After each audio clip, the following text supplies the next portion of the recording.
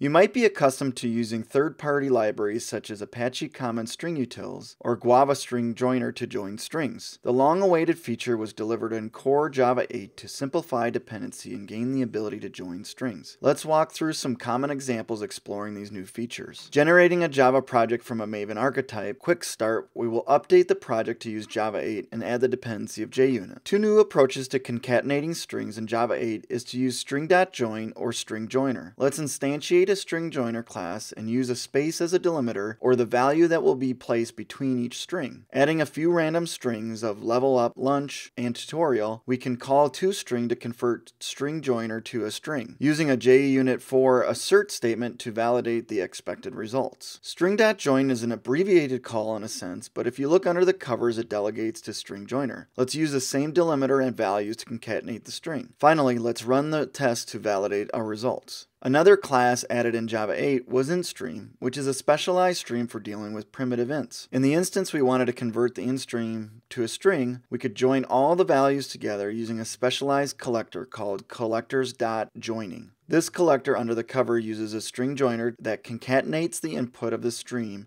and will separate each value with a comma and append a prefix and a suffix bracket. This technique could be used for int stream or a sister stream, long stream, or double stream as well. Let's run our example and validate the test is successful. Next, while I wouldn't suggest building your own CSV concatenator, you could take a list of strings and produce a comma separated string. There are many open source libraries such as OpenCSV or Common CSV that are better suited for CSV parsing. In the first snippet, let's use string.join passing a comma as a delimiter and hello world and CSV as elements, then writing a unit test to validate our results. The second snippet will create a list of the same values using collectors.joining to collector join the strings in an array list together. Let's run our test to validate. In our next snippet, we created a team class and mocked up some data related to the NCAA tournament. Oftentimes, when you have a list of objects, you may want to pull fields across the object to produce a string. In this snippet, we want to join all the team's names and separate it with a dash. Calling the stream.map and passing in team colon colon get name method reference will map each team's name. You can think of it as looping over the array list with a for each loop, calling team.getName. Next, passing in using collectors.joiner with a parameter of a dash will join each element with a dash. Again, let's run our test to validate the results. Again, not a recommended approach to producing JSON,